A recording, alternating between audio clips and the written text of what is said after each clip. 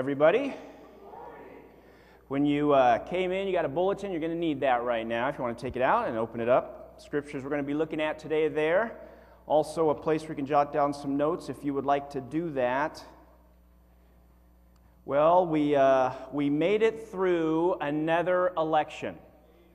So the ads have stopped, and now we uh, take next steps. As we're going through the election, uh, the day of the election, Super Tuesday, my wife and I uh, were kind of, you know, getting texts and emails and monitoring Facebook traffic and all of this. And as it got closer and closer to be apparent that Barack Obama was going to win a second term as president, uh, we started seeing kind of responses pop up. And the responses came in one of two categories. And I'm just kind of summarizing all the responses we got, which was a lot in two phrases. The first was, Praise Jesus, and the second one was, God help us. And those seem to be kind of the, some people really happy, some people really not happy. Uh, and I want to talk about the election and what that means for us uh, as people who want to walk with Jesus, but we're not going to do it today. We'll do that the last uh, Sunday of this year, December 30th. For now, we have other things we need to talk about. We're going to finish the book of Mark today after a three year study. So, uh, wasn't a lot of applause on that one. Thanks, guys. I appreciate that encouragement. Um, so we're gonna we're gonna finish. we're gonna finish uh, finish Mark up, and then we uh, head into the holidays. And what we need to do in the holidays is, in my opinion, step away from everything and just begin to worship Jesus with our whole hearts and give Him lots and lots of thanks. And uh, then we can think about the new year when the new year gets a little bit closer, right? So that's what we're going to do. It's going to be a great holiday season, by the way. I'm very excited about it and really do want to encourage you that if, uh, if you need one of the holiday baskets or there's someone in your family who needs one, please let Pastor Wayne know so we can uh, put together a list. Uh, it's really kind of a tradition we do. It's a small thing, but a very important thing. And as family, we want to help one another any way we can. And so, if one of the ways we can help you is just by providing a, a couple of things for you for a, a, holiday dinner, we would love to be able to do that. So, don't be shy about that. Don't feel weird about that. You know, people who care about each other help one another, right? It's what we do. And so, uh, so we'll start collecting for that pretty soon. But, but please, really, let Pastor Wayne know. Just take an info card, put basket, put your name, and he'll get you on that list that we're putting together. All right, let's pray. And then we're going to finish up with Mark. Father, we thank you for this morning. We do thank you so much for your goodness and your grace to us. And we thank you, Lord, that as these unbelievable, amazing events happened, that you worked through people to record these, that we could have them today, that we could understand them in greater depth and, and understand the meaning of them and the significance. And so we just pray today, Lord, as we wrap up this uh, long look into the book of Mark, that you would help us really get at the whole heart of this story. We thank you, Father, for what we're going to see today, and we just ask that you would speak directly to us, Lord. You love to talk to people, you love to build people up and to, to draw people and to guide people. And so, Father, we just pray that you would work today, and we pray it in the name of Jesus our Lord. Amen. All right, we're at the end of Mark. Woo! No? Oh, all right. Well, let's go to Mark chapter 1 and we'll begin all over again. In order to understand the last eight verses of Mark, you have to go back to Genesis chapter 1, verse 1. If you were to look at history, the world history, according to God, according to the Bible, you would see that there are three major movements in history. There's a lot of stuff going on, but three major movements, and they go like this. Movement one is that there's a God, and that God creates everything, seen and unseen, including people. And that as He creates people, He makes them different in that they have the image of God. And that means a lot of things, but one of the things it means is that God creates people to work with Him to accomplish His purposes. The angels help out, and you know, all of creation cries out to the glory of God, but only humanity, only you and me, share God's image with Him. It's a very unique and very important aspect of who we are as people. So that's the first move. There's a God, He creates everything, including people who are on the earth to help Him in His purposes. Movement two is that evil enters God's good creation. Now, theologians are kind of split on how that happens and when it happens, but we know for sure, according to the Bible, that it does happen. And in fact, we know for sure when we pick up the newspaper that it did happen, right? And so evil enters God's good creation. And as it enters it, it goes because God is not. Uh, not going to succumb to any kind of evil, it goes towards the image bearers. And this evil begins to seduce those that God created to partner with Him, you and me, people, seduces them away from God through deception, through temptation, and they give in. And as they give in, the relationship they had with this God of life, who sustains life, who gives life, is fractured. And now they've lost life. And so the only thing waiting now is death. A good creation now has evil, and the consequence of evil, death, as part of it. And that's where we find ourselves. Now, the third move that you see, the big sweeping, again, brush strokes, is that very quickly after this evil enters and people give in to it, which, by the way, theologians call the fall, the fall of mankind, God begins to make a promise. And the promise is someday I will, says God, take all of creation, all of it in its brokenness now, in its fallenness, and I will renew it all and make it like it was intended to be in the first place. Now, you see this promise and movements toward it, which is kind of all of what the Hebrew Scriptures, what sometimes are called the Old Testament, but what the Hebrew scripture, Scriptures are about. These promises that God makes over and over in a series of ways, and then movement toward how God is fulfilling those promises. Look in the book of Isaiah. Let me show you this passage. Isaiah 65, 17, toward the end of the prophet uh, uh, speaking, says, Behold, I will create new heavens and a new earth. Now, this is God talking. The former things will not be remembered, nor will they come to mind. What we see now is not what is intended, was intended by God, and not what will be at the end. A new heaven, a new earth. Now, it stands to reason, and God makes the promise that in the context of a new heavens and a new earth, a new creation that's coming, that God will take people who have died in this old creation but have lived in right relationship with Him. Righteousness is the word, kind of an older word that you see in the Old and New uh, Testaments. And those who were right with Him, though they have died because of the consequences of, of sin entering the world, though they physically have died, that at the end of time, when God creates this new heaven and new earth, He will take those people who have died and maybe been dead for a very long time and will raise them up again in bodily, physical form to live the way they were created to live, now never to die again in a new creation that has no evil, no death, no anything that is destructive to mankind. Again, Isaiah talking about this. Uh, and, and, this is throughout the, the scriptures, but Isaiah makes this point pretty clearly. Isaiah 26, he says, But your dead will live. Huh? Your dead will live. Their bodies will rise.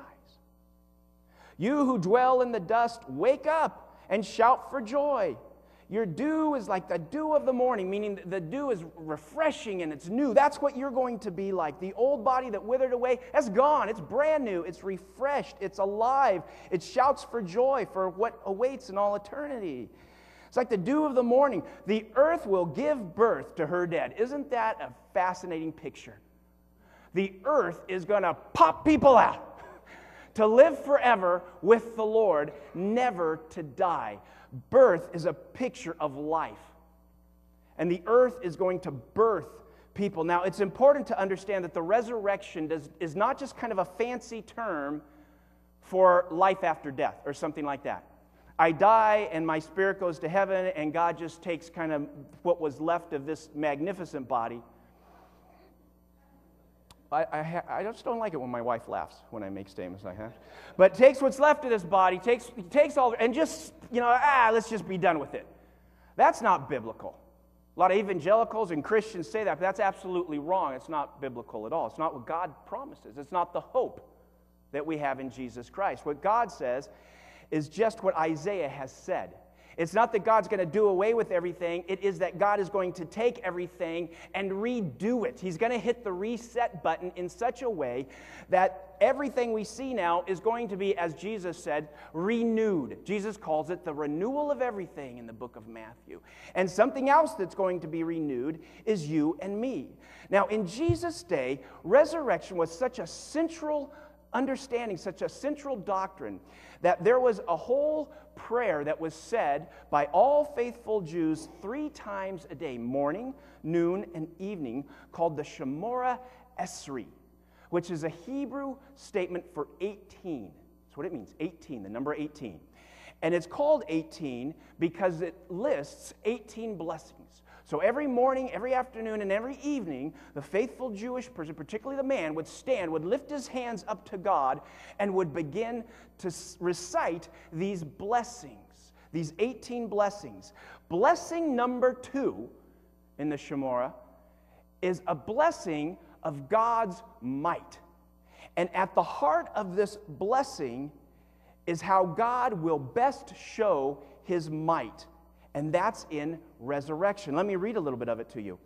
This is from the Shemoneh. You, O Lord, are mighty forever. You are the reviver of the dead. You are greatly able to save. You sustain the living in loving kindness. You revive the dead with great compassion. You're, you support the falling, heal the sick, set free the bound, and keep faith with those who sleep in the dust. In other words, even though they're dead, you haven't forgotten them, God. You're going to keep faith. You're going to make sure that you raise them up as you promised you would do. You keep faith with them. O Master of mighty deeds, who compares to you? A king who puts to death and restores to life and brings forth salvation. And you are faithful to revive the dead. Blessed are you, O Lord, who revives the dead. What do you think that prayer is about? God's might in reviving the dead. And every morning, Joseph, the father of Jesus, as a faithful Jewish man, would have stood and recited that. The concept of new heaven, new earth, and a resurrected to live forever ever people was central to what was believed in Jesus' lifetime. Now, everyone for the most part, there were parties like the Sadducees that didn't believe it, but most people believed that this was going to happen and that it would happen at the end of time when God finally brought his kingdom to earth as he'd promised and all wrong was dealt with. All wrongs were made right, and all the withering, dying off, a failing creation was restored and made new to last for eternity. That's what the Bible teaches. It's fascinating that most Christians are clueless about this concept of resurrection, even though it is at the very heart of the story of Jesus Christ. Is at the very heart of the promises God makes in the Hebrew Scriptures. At the very heart of everything the New Testament hope is about the resurrection life. Well, what about heaven? Yeah, there's a heaven. Think of it as God's domain. And when you die, the Apostle Paul said, you'll be absent from the body, so you'll be present from the Lord. But it's not like God forgot the body. And heaven is not God's ultimate place.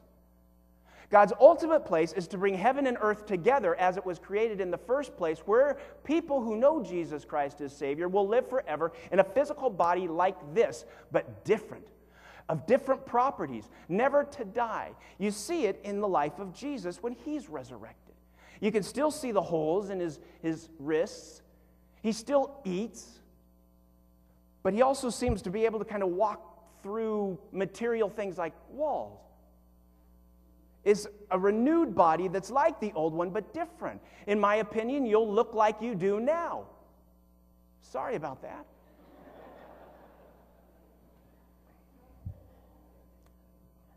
I can't help you, man. I can't help you is what it is.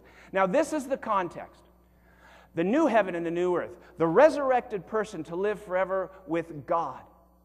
This is the this is the whole historic framework that when Mark begins to write his gospel, he addresses. This is what he begins to say. Now, we really are going back to Mark 1 1. Don't get worried. We're just going to look at it briefly. We have to see it to understand the last eight verses of the book of Mark. Let's look at it up on the screen. Mark begins by saying, the beginning of the gospel about Jesus Christ, the Son of God. You know what gospel is? It's a great old word. It is a word that means good news. And the whole idea of it, the whole historical concept is it is the word that was used for an announcement of a herald who was coming back from battle, saying to the people in the village, We've won. There's victory. We're going to be okay after all. Why do they use that word? Because people who are dead and dying and have been separated from God by our sinfulness, and we see the world collapsing around us, we see all the evil, we see all the corruption, we see all the pain, we see all the suffering, and there's nothing we can do about it, regardless of who we vote in. And so we, we're stuck. But it's like the good news comes, and it's God saying to us, No, no, no. God's fought the battle of sin. He's fought the battle of death. He's fought the battle of corruption, and He won. So we're going to be okay after all.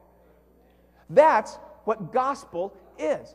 So when Mark writes this first verse, he's not just saying, well, this is the beginning of the story. He's saying all of those promises God made through all of that time is now beginning to occur. Not, well, someday there'll be an end of the world. No, it's happening now. The Bible, over and over in the New Testament, calls the time we're living in now the post resurrection time, the last days. We're not waiting for the last days, we're in the last days, where people who belong to Jesus now are citizens of the kingdom of God, living and hopefully shining for the Lord Jesus in a world that's withering away. And the whole idea is you're supposed to see the light where the darkness is. That's who you are citizens of a kingdom of God. People who have a material body that's, that's going to die off. Your spirit will be with the Lord. But that's not the end of the story. The end of the story is when God raises you back up in a never to die form and you physically live in a physical world with God right there, the way it was created to li- be from the very beginning. That's why Jesus calls it the renewal of everything. And that's what we wait for. Now, this is the whole context. God's promises.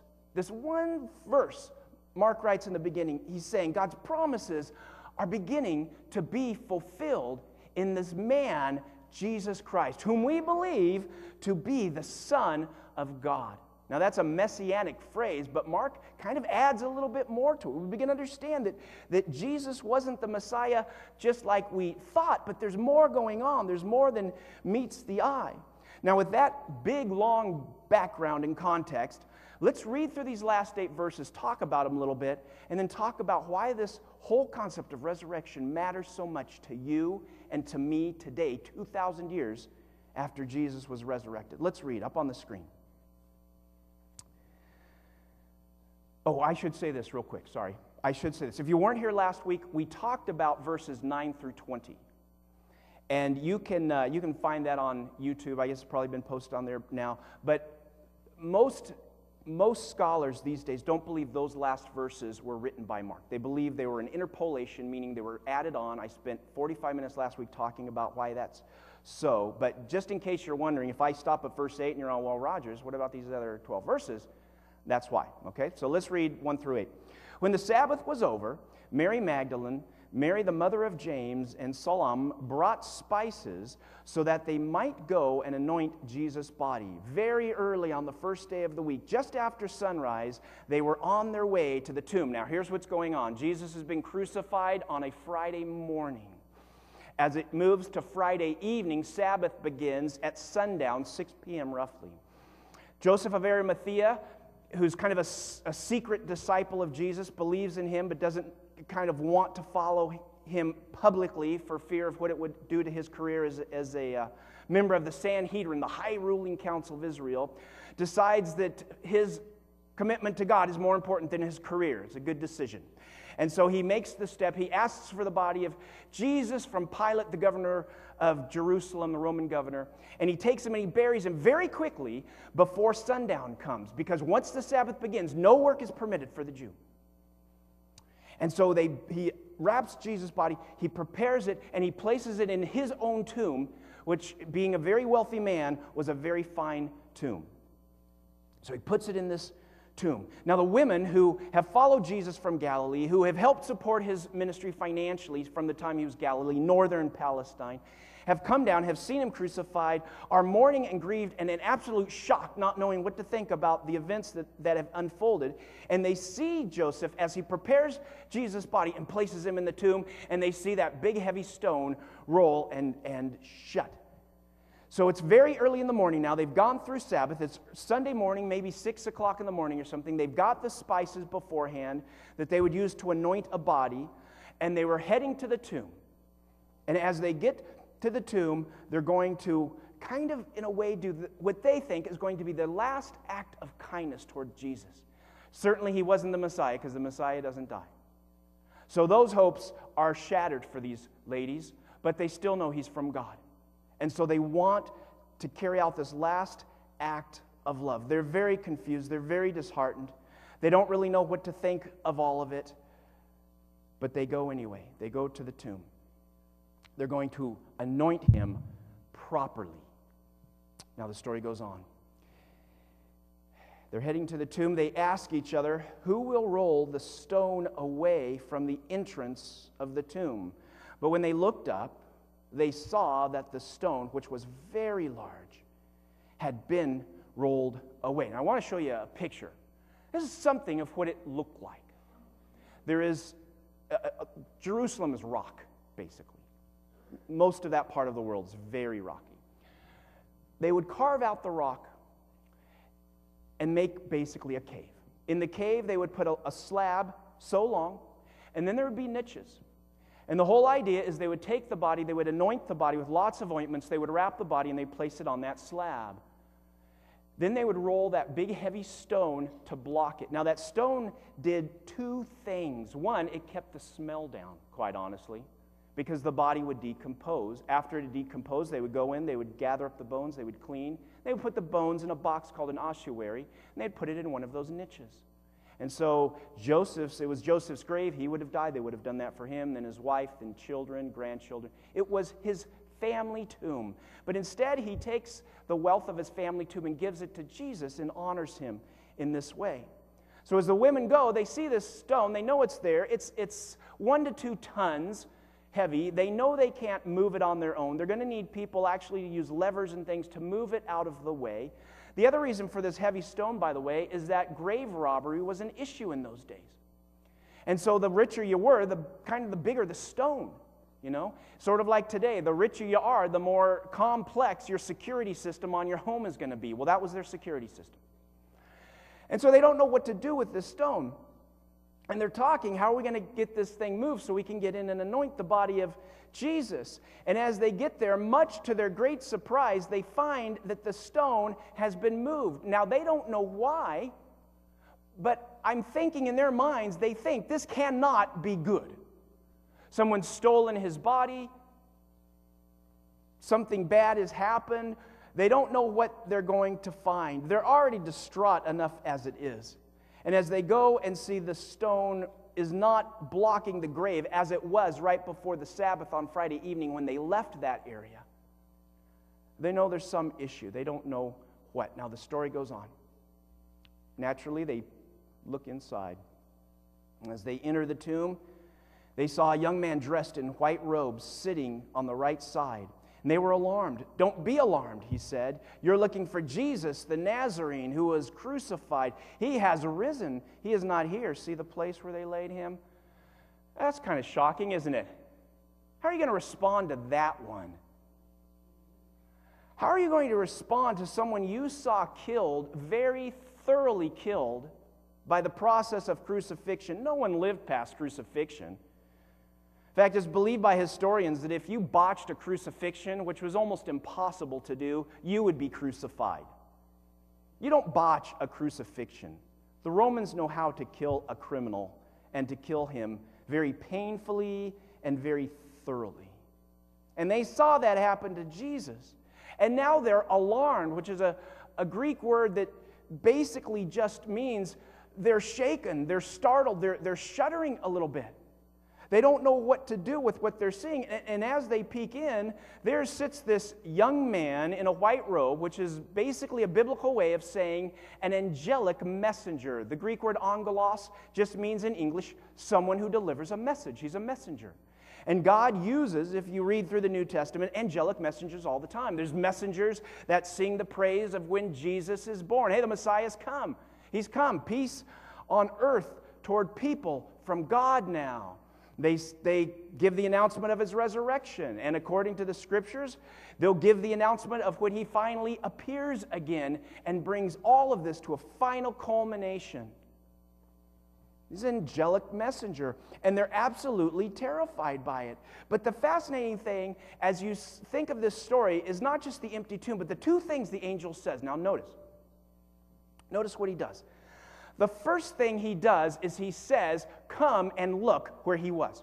He gives the explanation. He's not here, he's risen. See where he was. And they look and they see he's not there. Now, what's going on here? What's going on is that these ladies, these women, distraught as they are, are the first witnesses of the resurrection. The angel is giving them physical evidence that they can talk about. He's not here. Look for yourself. It's hard to deny. He's just not there. They saw him laid there, they saw him prepped, his body wrapped and cleaned very quickly by Joseph. They saw the stones seal the tomb, and now the stones move. There's an angel, and Jesus is gone. That makes for quite a lively morning. You know what I'm saying? That's not something that happens very frequently. And so the angel says, He's not here. Look. And now these women become eyewitnesses of an empty tomb. Now he goes on. Here's the second thing he's going to say. But go, tell his disciples and Peter, he's going ahead of you into Galilee. There you'll see him, just as he told you. Now it wraps up in, with this last verse trembling and bewildered, the women went out and fled from the tomb. Yeah, I'm, you got to understand that, huh? They said nothing to anyone because they were afraid. Now, the second thing the angel says after he says, Come and, and see the whole physical evidence of the empty tomb, because they're now eyewitnesses, he tells witnesses what they're supposed to do go bear witness. Go give testimony that the tomb is empty when you got here, and that Jesus is risen as he said he was going to rise, and that he'll meet the disciples in Galilee where it all began. Go be witnesses of what you have seen here. That's what witnesses do, right? People who have seen and experienced Jesus Christ are supposed to tell other people about that. It's not meant to be a private message that I hold on to. It's meant to be something I bear witness to who Jesus is and what he's done. Now, for them, they could bear witness that he must be the Messiah because he's risen, he's not here. Who he is and what he's done. For you and me, we bear witness that I know he's true, I know he's God because he's transformed my life. Witnesses bear witness. And the angel tells him, Go bear witness. Now, the way Mark ends his book is to have the whole thing drop off in this very abrupt ending. The other gospels end with these post resurrection appearances, with the women going back and telling what happened, um, is kind of victorious. This just drops off and you're left hanging. And Mark does that very intentionally, as we're going to talk about in a moment. Now, there you have it. Mark's story's over. Boom, it's done. You have this whole big long event. You have this crucifixion. You have the women going distraught. You have them finding an empty tomb and an angelic messenger saying, He rose like he said he would. He's not here. See. Now go tell people. In the story with the women going, uh, We're out of here. And that's how it ends. That's the book of Mark.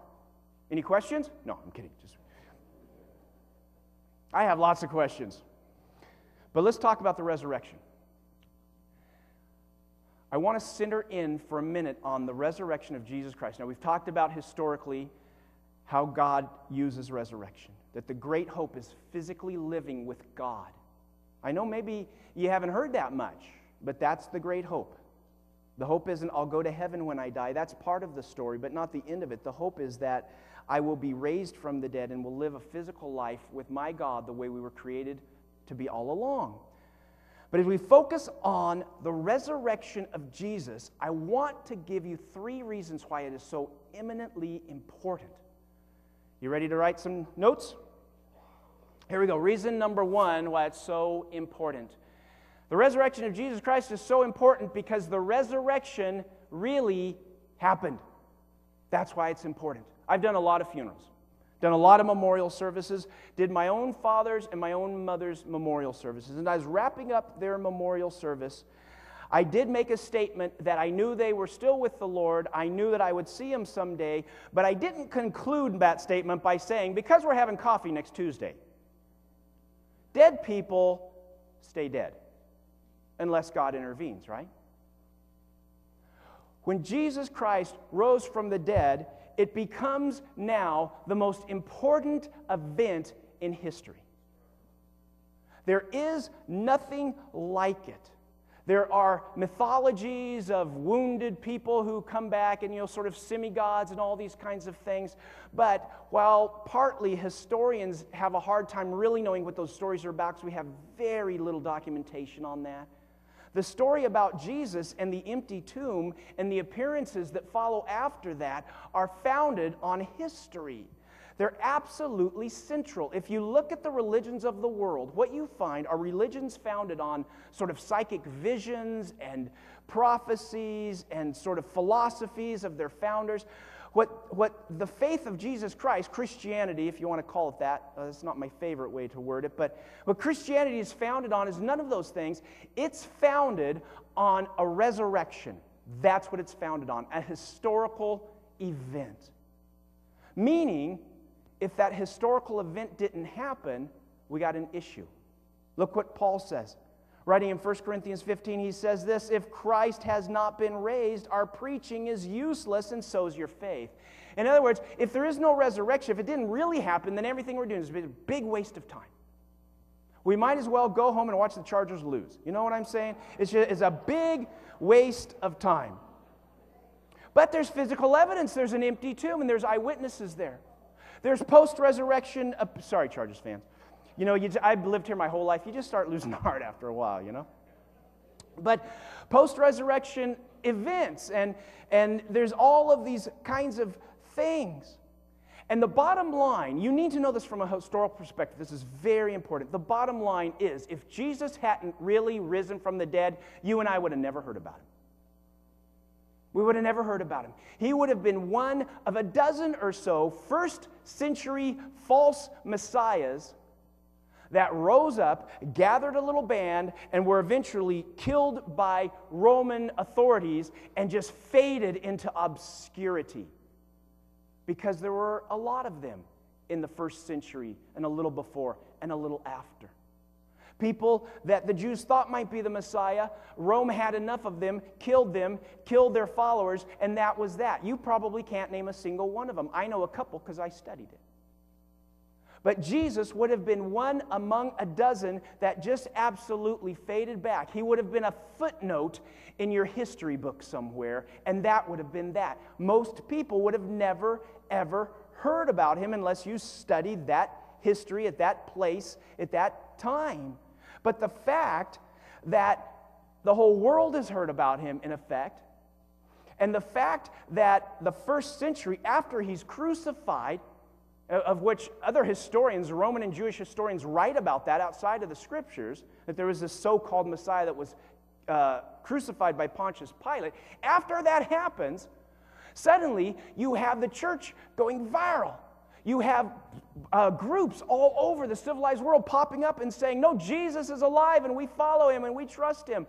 That doesn't happen there's nowhere in history that you can see somebody being killed and people going, Well, we're going to follow him anyway. Hooray! Woo! He's the big loser. Again, Chargers fans. But the, the thing about it, is that if he hadn't really risen from the dead, we wouldn't be here today. We wouldn't be talking about this. Two billion people wouldn't have worshiped him on Sunday. He would just be a footnote in somebody's history book. The resurrection really happened. It really happened. And so we have to understand if it didn't happen, we would have been wasting our time. If it did happen, which it did, now it becomes the most important event in the history of the world. And something that you and I need to pay incredible attention to. Now, let me give you the second thing. I won't spend as much time on these last couple of points. Number two is this the resurrection of Jesus is incredibly important because the resurrection, along with his crucifixion, is God's way to restore people back to himself. When the angelic messenger is giving the message to the women, he says, Go tell the disciples and Peter. Why does he single out Peter? Because the other disciples just ran away. Peter actually stood up and told lies about knowing him at all. He actually denied that he knew Jesus. The other disciples ran away in fear. He actually denied even knowing who Jesus was. The other disciples felt bad. He felt completely lost. But because of the death of Christ, because of the resurrection. Now, sin's been dealt with, so death has been dealt with, and now God begins to restore people back to himself, beginning with Peter. Restoring him back to a relationship with the Father, restoring him back to the ministry he's given him. God has used the death and resurrection to restore us. If the resurrection didn't happen, the death of Jesus was just a really unfortunate event. Do you hear what I'm saying to you? And all of the statements about dying in my place is a lot of hooey. He must have died in his place. If he rose from the grave, now that means something. That means something. The Apostle Peter sums it up this way 1 Peter 1. He says, the beginning of this letter, Praise be to the God and Father of our Lord Jesus Christ. In his great mercy, he has given us new birth into a living hope through the resurrection of Jesus Christ from the dead. Now, you see the play on words there? Our hope is because Jesus is alive, He rose from the dead. We know the crucifixion counted for us in our place. We did the crimes, He paid the sentence, rose from the dead. God accepted the sacrifice. Death has been broken, as we see in the resurrection.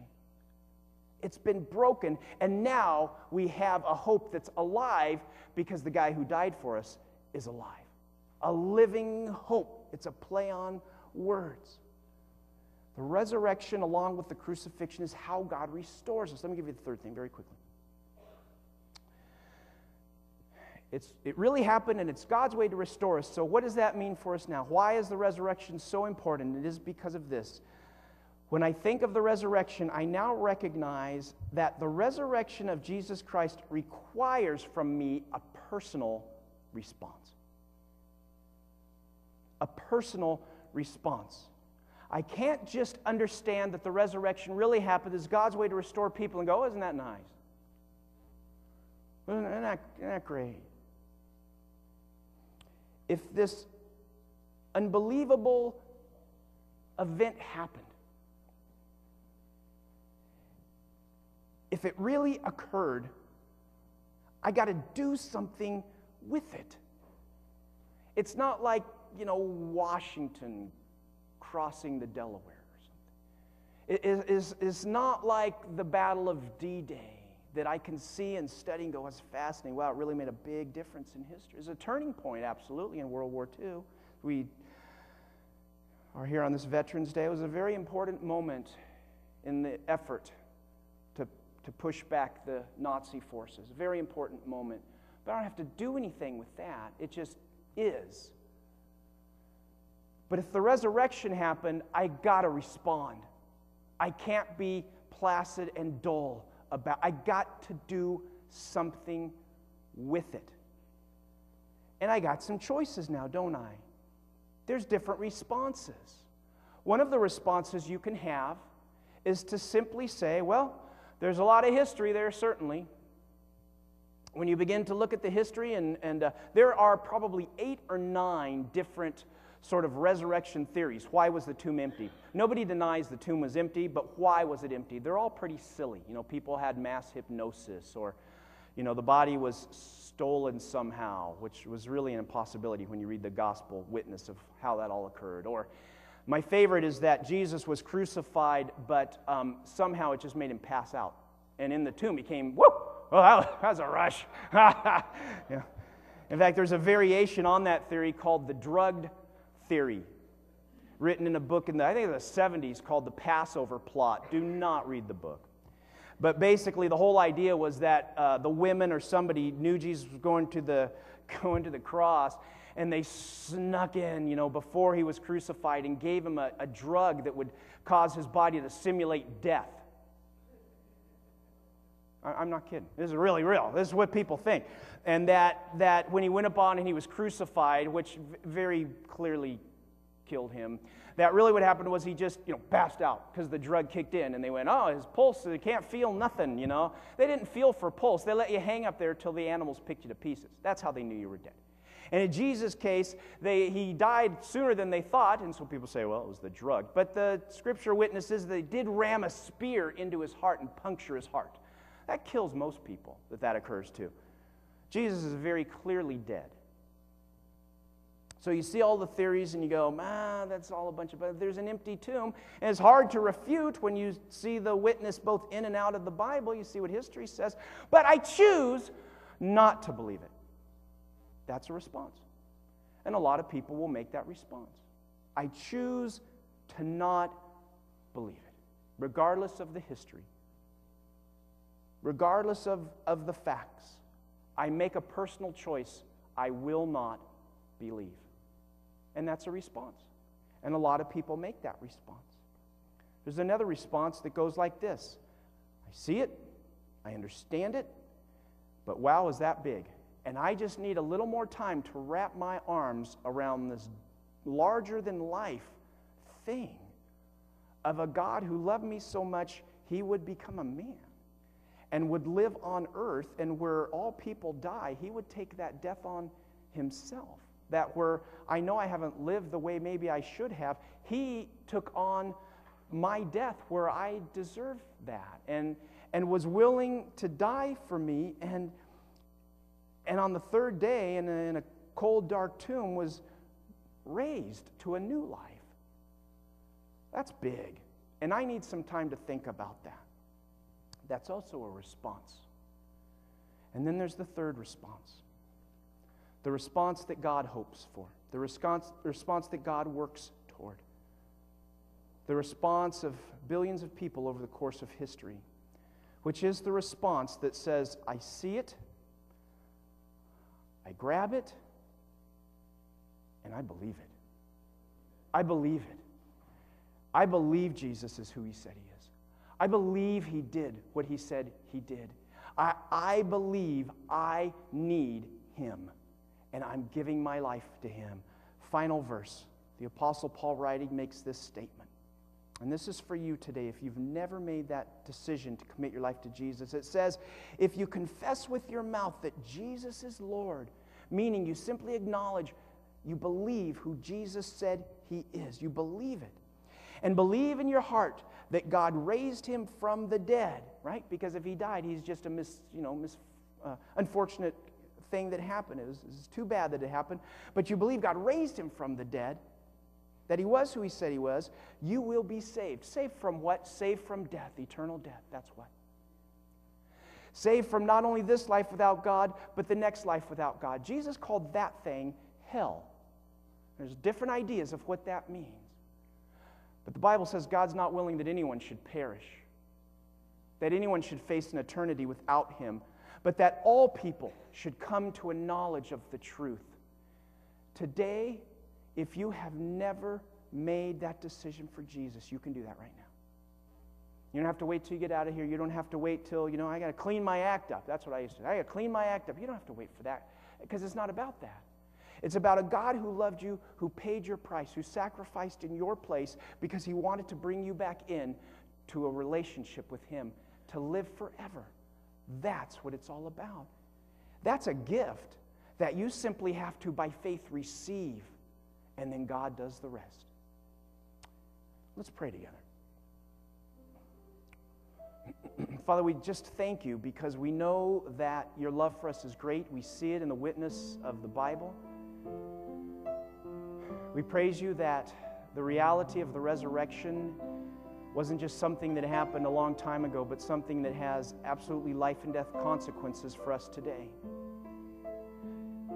And Father, I just pray for everyone here. If there's uh, people here today, and I know there are, Lord, who have, who have never made a decision for Jesus Christ, I pray that your Spirit would work in their hearts right now to draw them to you.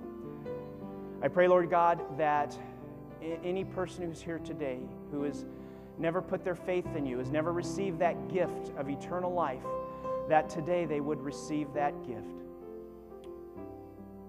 Father, I thank you for your great love as seen in Jesus. I thank you for the story. We see it unwrapping in the book of Mark. You lay it out before us of how you've begun the promise of renewing all things.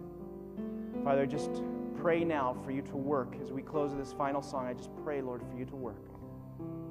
If there's anyone who's never committed their life to Jesus, I pray today you would draw them in. Bring them home, Father, we pray. In Jesus' name. Amen. Stand up. We're going to close now. Um, if today you made a decision for the Lord, or you have questions and you want to come talk about that, there'll be people up here who can talk with you, pr- pray with you. Also, don't forget this Friday, 6 o'clock, pre goose dinner. It's going to be a lot of fun. Hope you can make it. Let's pray. Father, we just thank you now for this morning. We thank you for what you did in Jesus and for the, the door that opens up now through him to new life with you. And Father, we just thank you today for uh, people who've taken a step closer to Him. We thank you, Lord, for your great love for us. I just would pray your blessing over everyone who's here today, Lord, over their families, their homes, and over our community, our city, and our world, that your kingdom would come, your will would be done on earth as it is in heaven. We just thank you now, Lord, for this morning. We bless you we thank you. And all God's people said, Amen. God bless you guys. Have a great day.